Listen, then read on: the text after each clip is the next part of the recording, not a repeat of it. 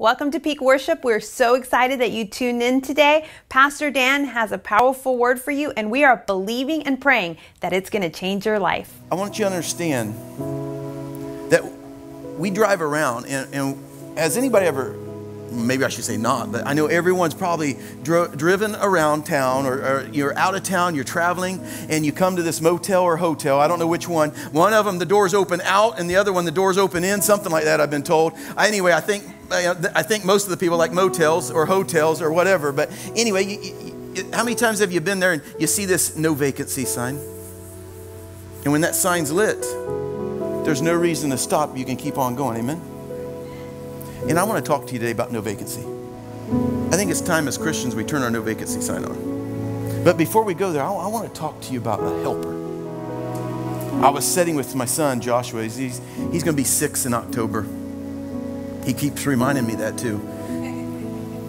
And he keeps reminding me that it's going to be a Legos um, birthday because, you know, he wants a Legos cake. But we're sitting there and he, he has this project, and what an imagination. Imagination that I never, ever want to destroy. But it's easy to destroy. But we're sitting there and we're, we're, cutting boxes, and I'm, I'm with the hot glue gun, and he's saying, Take this little piece of paper and, and glue this here. And I'm thinking, Man, you know that once you push on that little piece of paper, you know how hot that is on the other side, right here on that finger? But I, am just pushing him. You know, and, and he told me, You know what, Daddy, don't do that. that Daddy, Daddy, I'm the designer and engineer, you're the helper.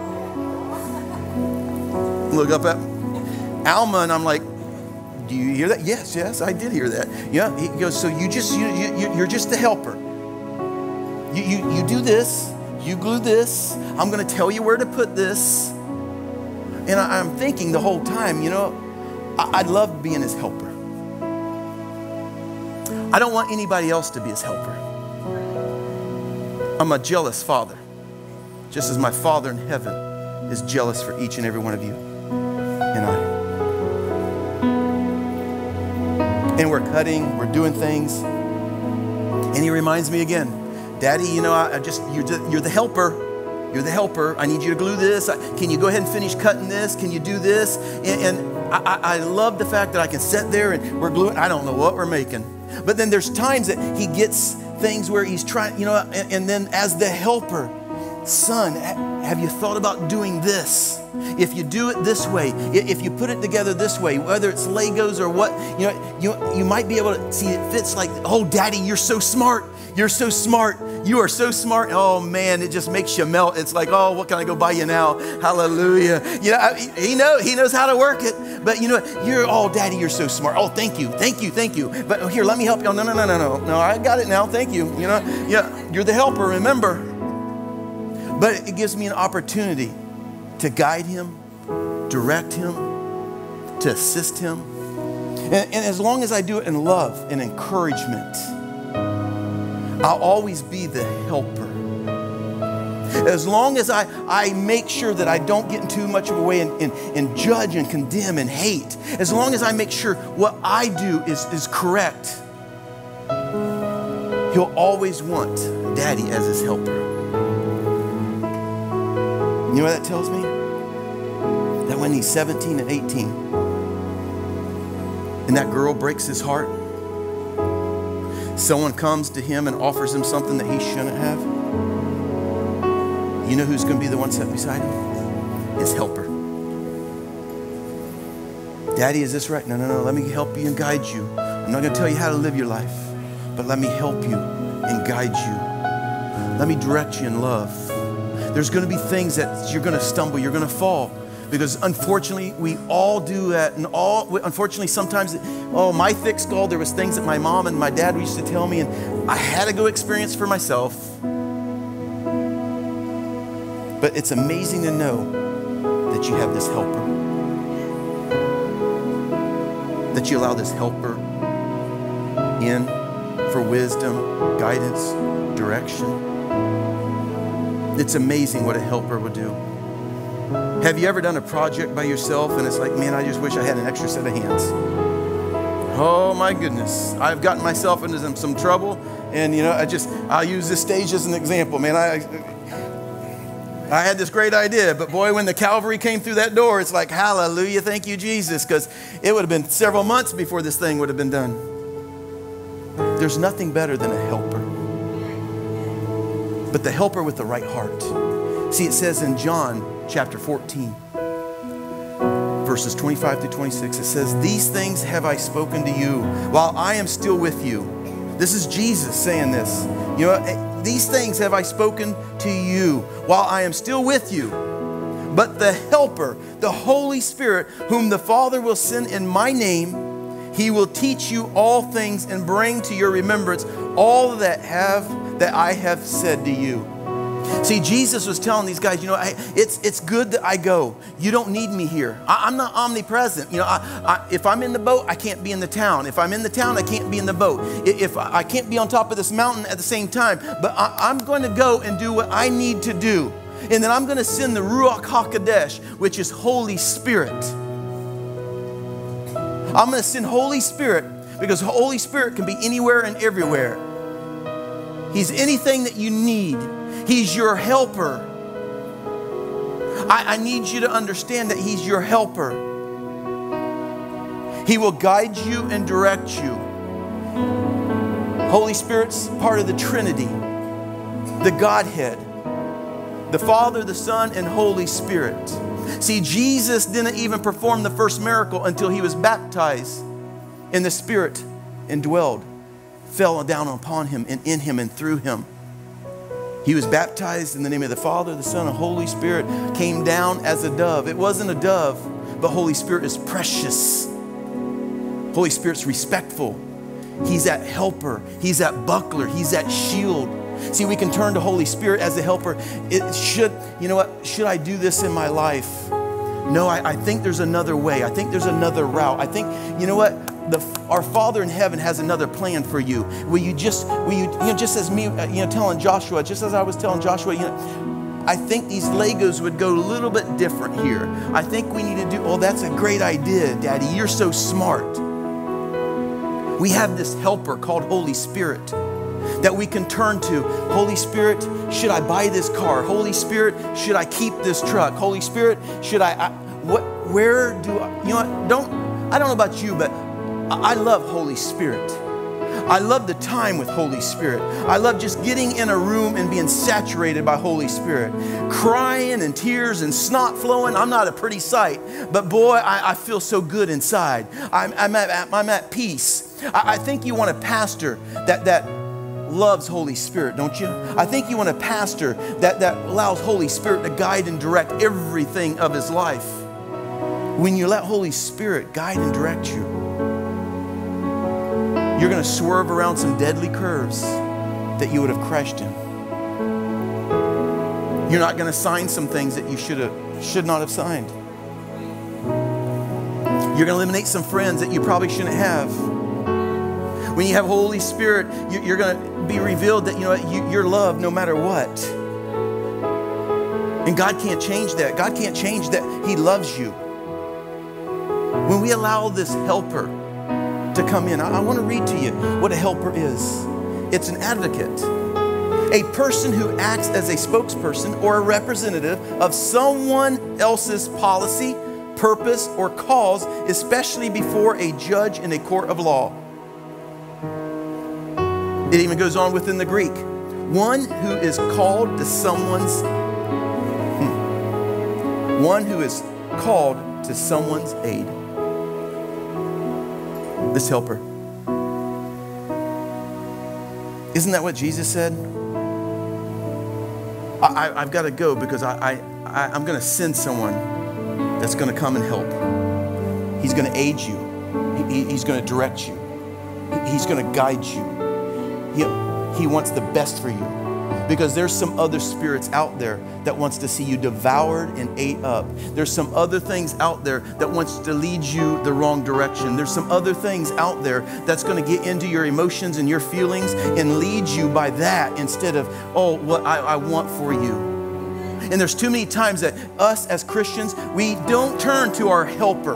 We, when we go to make a, a decision uh, or there's a situation in our life, how many times do we really sit back and, oh, let me just take a step back? let me take a deep breath before I call my friend, before I call my spouse. Let me go right to my helper. How many times do we make decisions? Do we react without going to our helper?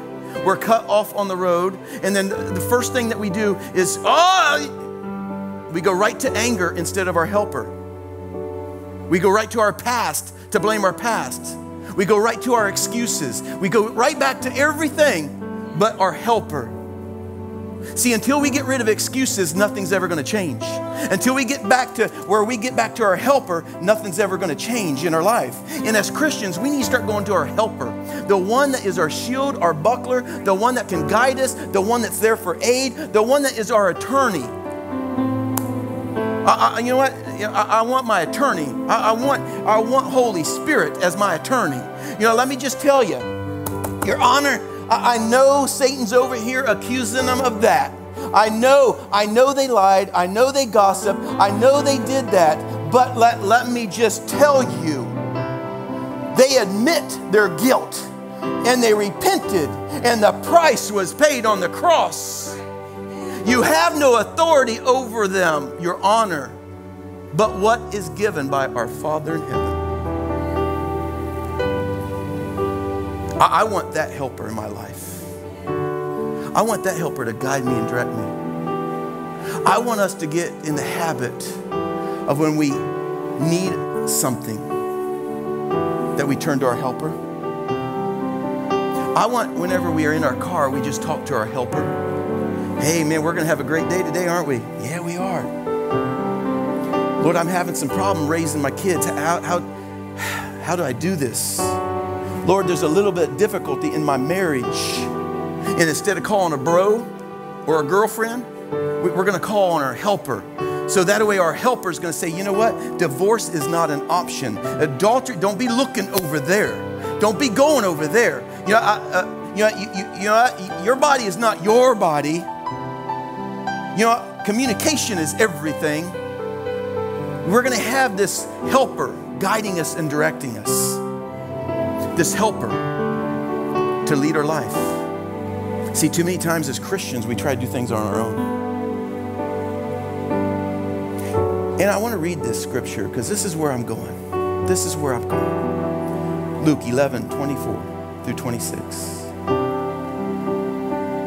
When the unclean spirit has gone out of a person, it passes through waterless places seeking rest and finding none, it says, I will return to my house from which I came. And when it comes, it finds the house swept and put in order. Then it goes and brings seven other spirits more evil than itself, and they enter and dwell there. And the last state of the person is worse than the first. It even goes, it's so important that he does, God doesn't just say, Luke, I need you to write it. Matthew, I need you to write it down. And Matthew states it right here in, in chapter 12, the words of Jesus. When the unclean spirit has gone out of a person, it passes through waterless places seeking rest, but finds none. Then it says, I will return to my house from which I came. And when it comes and it finds the house empty, swept, and put in order, then it goes and brings with it seven other spirits more evil than itself, and they enter in and dwell there. And the last state of that person is worse than the first. So also will it be with this evil generation. What's the scripture saying? I'm glad you asked. Because there's too many times as Christians, instead of allowing our helper to come in, it, it, have you heard of the word exorcist? Jesus is saying that the, disciples came across some exorcists. You know, exorcism is, is where, where they're casting out demonic spirits out of this individual. There's a demonic spirit that, that is making this person flail and wail all over. And there was false prophets. There was individuals that were trying to do things themselves, but not in the name of Jesus. And to see, they were, oh, let me just put it in perspective. See, they were trying to get over their alcohol addiction through their own ways. Oh, you know what? I can go ahead and buy the bottle because it's only going to sit in the counter because I have it under control. Because pride is in the midst. Oh, this depression, I have it down. Why do you think suicide is rampant? We just see all over Instagram where one of the chefs that was on TV, famous chefs, that he committed suicide because of depression, because depression came in. Oh, you know what? Depression was in the midst. And, and see, it's so easy as brothers in Christ, it says, come and reveal and, and talk to each other about your sins. You know, get prayer. Let the elders lay hands on you that you will be healed. But see, Satan will keep us isolated where we try to handle things ourselves. And see, we'll try to do it ourselves. And we think we're winning the battle. Oh, whenever they were casting out those, those exorcists, was, ex, was casting out those demons, Jesus was saying, it's just temporary. You're going to see it they're going to be okay for a week or two. But after that, it's coming back and finding a place all kept up and swept up. How many times as Christians we've had that attitude? I've got this under control. And then three weeks later, that same problem that we thought we had under control has us buried and devoured. I'm depressed now. I have anxiety. I have worry. Porn, pornographic material is worldwide. You, you, know, you know, they said the pornographic uh, industry is so huge and the reason why i brought up that you know in so many times because that's throughout the newsletters of the, of the church leaderships that i'm reading pornography is growing and it's growing at an age that 10 year olds and 12 year olds and it's important that we discuss it it's important that we discuss it because 10 and 12 year olds are getting addicted to something that is free right there on their Google. And they say the pornography industry makes more money than the NFL, the Major League Baseball, the NBA, and the hockey all put together. Multi billion dollars. NFL is a multi-billion dollar, what, some astronomical billions of dollars. But all the sports put together, pornography is larger, makes more money. But Jesus is saying, you know what? Hang on. In a couple weeks, let's see how the individual is. How many times have we as Christians tried to do something on our own? Hey, I mean, I, I, man, I'm trying to lose weight again because I've done it on my own. man, I last for a few months, I last for a few years, and the next thing I know, then boom, man, over time, this thing starts creeping in, and I, I and now, now, now, now I'm 10 additional pounds or 20 pounds. How about your alcohol addiction? You have it under control, but if you really admit it, it has you under control. How about your drugs? How about depression? It seems that whenever we think we have something under control, I have it. That's pride. All that is is arrogance. Now you're going to fall and you're going to stumble even greater because it's an illusion that Satan has. And that's what Satan's saying. You know what? I see what you see. But let me just tell you that demonic spirit of lying, if you don't allow your helper, Holy Spirit, to do the work in you, then all you're doing is you're doing it in your own. And all you're doing is you're cleaning this temple. You're making a place that when that demonic spirit comes back, when that lying, that addiction, that depression, that anxiety comes back, it's going to find a place all kept up where now it has rooms for seven more. But when we allow Holy Spirit to do the work, when we allow Holy Spirit, see it says in Ephesians 5:18, and do not get drunk with wine, for that is a debauchery. Debauchery is anything that pleasures the, the, the, the, the flesh. That could be sex, that could be drugs, that could be alcohol, that could be your soap opera, that could be you know your idolatry, that could be anything that comes in that is forms an idol above God. For that is debauchery, but be filled with the Spirit be filled with Holy Spirit because when you allow your helper to come in, when you allow your helper to come in to work out the obesity. You, oh, Lord, I, I, need, when I turn that, you know what, Lord, there's times that, man, I want to go grab me a Snickers bar. I want to eat the whole cake, not just a piece of cake. I want to eat the whole thing. Ah, but I have to turn to my helper. I need strength. Help me walk away. Help me walk away from this addiction. Help me give me strength. Oh, Father God, give me a peace. For Father God, I'm in circumstances that I want to worry, but I don't want to worry. And instead of going to my checkbook, instead of going, oh, to my finances, instead of going to my wife, instead of going to the house, instead of looking at all the bills or whatever that's going on in your life, I'm turning to the helper. Lord, ah, you have this under control. Jesus, you said you're my Jehovah Jireh. Oh, Father God, give me the peace that I can sleep throughout the night. And when we allow the helper to come in and help us through these, oh, we can put the no vacancy sign on because when the demonic spirit comes back, there's no room in here because Holy Spirit dwells in this place. Oh, I might be messed up. I might be jacked up. I might have my issues or problems, but let me just tell you, I'm working this out with Holy Spirit. And when that demonic spirit, when it comes back, let me just tell you, there's no vacancy. You have to keep on going. Don't even knock at my door because lust is not even an option. Because when I feel that, I'm turning right to my helper. I'm getting right into the Word. I, am going to study it. I'm going to memorize Scripture. I, oh, that's why PDJ is very important. That's why it's very important that you pray each and every day. You have a relationship with God because when that demonic spirit comes back, oh, gossip comes back. Oh, I want to pick up the phone because sister, sister needs to know how messed up they are. Oh, but, oh, yeah, I'll use the excuse that, oh, I'll just tell them everything and then, oh, what we're going to do is just pray. Oh, the helper knows the heart The helper can give you strength. When the suicide thought comes, instead of handling it with yourself, handle it with your helper, with Holy Spirit. So when the suicide comes back, knocking on the door,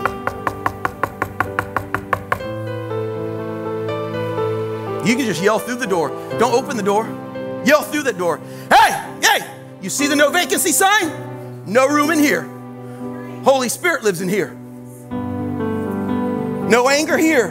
Holy Spirit lives in here. No bitterness in here. Holy Spirit lives in here. No unforgiveness in here. Holy Spirit lives in here.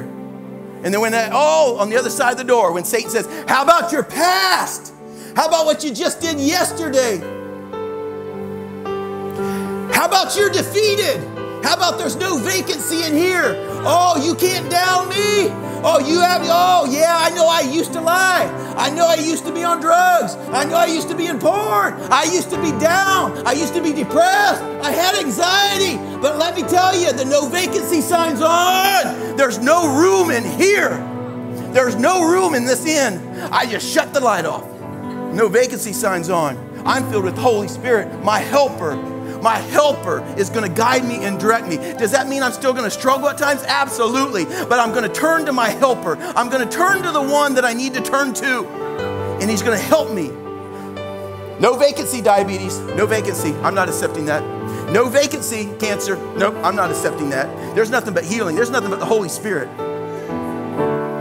No anxiety here. No, no, no, no, no. You see the no vacancy sign? No vacancy signs on. Nope. No anxiety here. No depression here. Uh-uh. No, no, no, no, no, no, no. I, I, yeah, I know I used to be a drinker. I know I used to be a drug addict, but you know, no vacancy here, no more. Because, you know, I, I turn to my helper. When it shows up at the door, you need to instantly turn to your helper. And your helper will go out and fight the battle for you. Your helper will let the enemy know you won't even have to answer. You turn your, Lord, I need some help here. I, I need, and our helper, our buckler, oh, our shield, he'll step in. Oh, I've got this. Let me just tell you, Satan, uh, you, there's no vacancy here. You, there's no room here for you because you can't dwell with me. And let me just tell you, you've lost the battle and you've lost this temple because it was purchased by Jesus Christ. When you take those thoughts captive, what are you filling it with when you cast them out? Are you filling it with Holy Spirit? Because let me tell you, if you try to do it yourself, jealousy will run your life. Amen? Excuses will run your life. Oh, it's going to get better when I get married. Oh, it's going to get better whenever I get some rest. Oh, it's going to get, get better whenever I get a job. Oh, really? Your job's going to give you peace? Well, you know, you should have peace throughout all your life. You shouldn't be worrying at all a peace that surpasses all understanding. You know, you can stand on God's word and, and not have any of that. I, there's no vacancy here for worry. There's no vacancy for lack. There's no vacancy for you, Satan. Nothing. Nothing of your schemes, nothing you could say. There's no vacancy here. And we as Christians, we need to start turning our no vacancy sign on.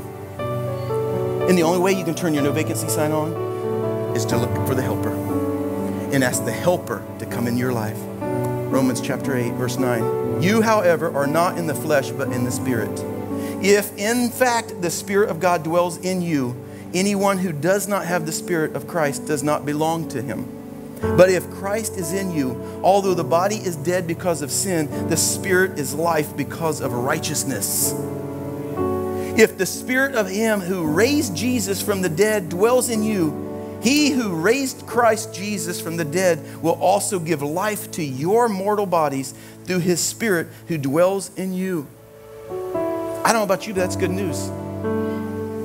So, those of you that want to look in the mirror and you don't see something that's beautiful and created incredibly wonderful, then, you need to instantly, before you walk away from that mirror, you need to turn to your helper. Lord, I just, I want, Holy Spirit, help me to look in this mirror and see exactly what you see. Because my no vacancy signs on, defeat is not an option.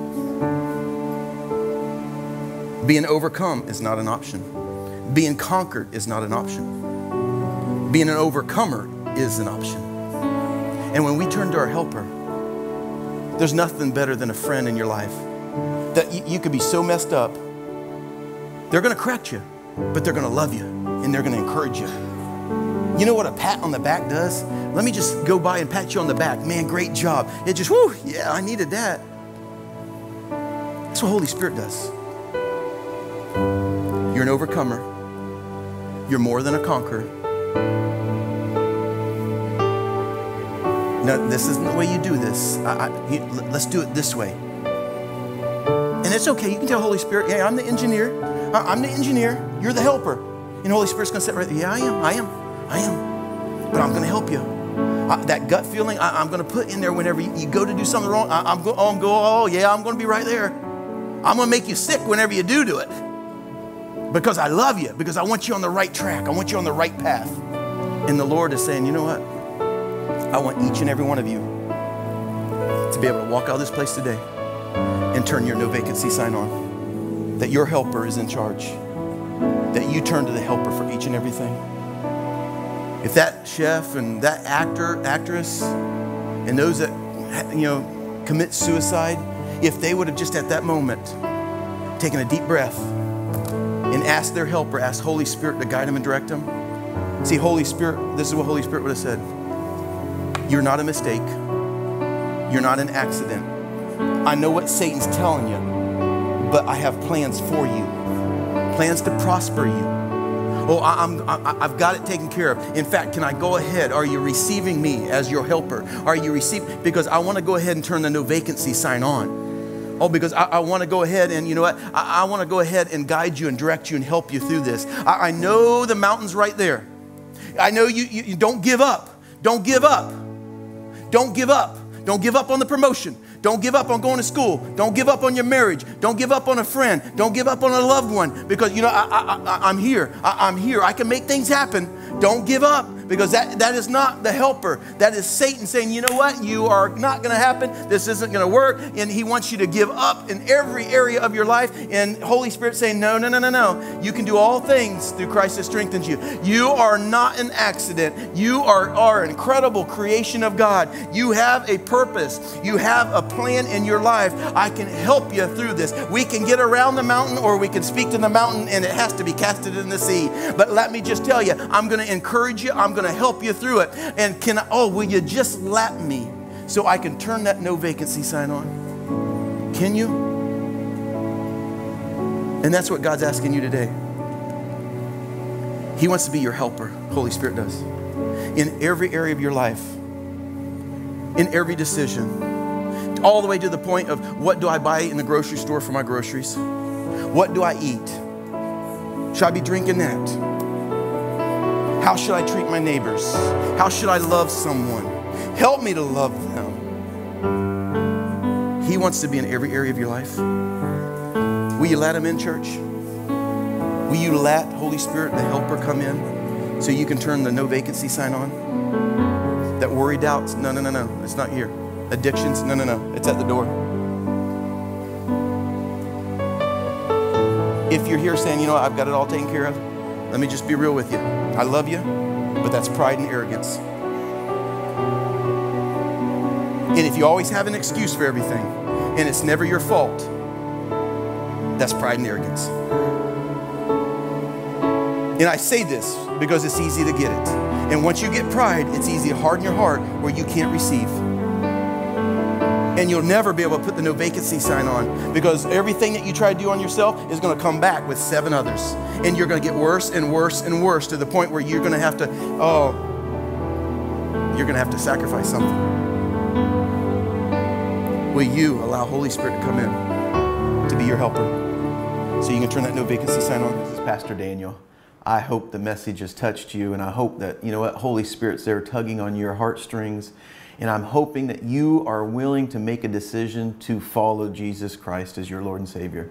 I know for me, it was a young child that I gave my heart to the Lord, but then, then I didn't live uh, my relationship for the Lord. I lived my relationship through my parents for the Lord. And then there was a time in my life where things just went wrong and went bad and, and the Holy Spirit was tugging at my heart and saying, hey, look, you know what? It's time.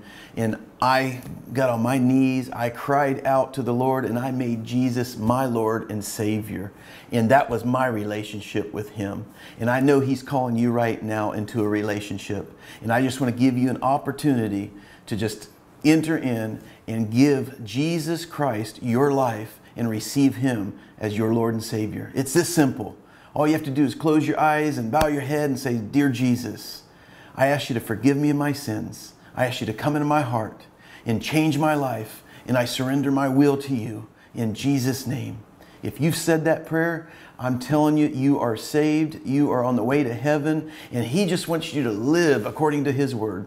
So get into a church, start serving, get into the Word of God, and make a difference in your life.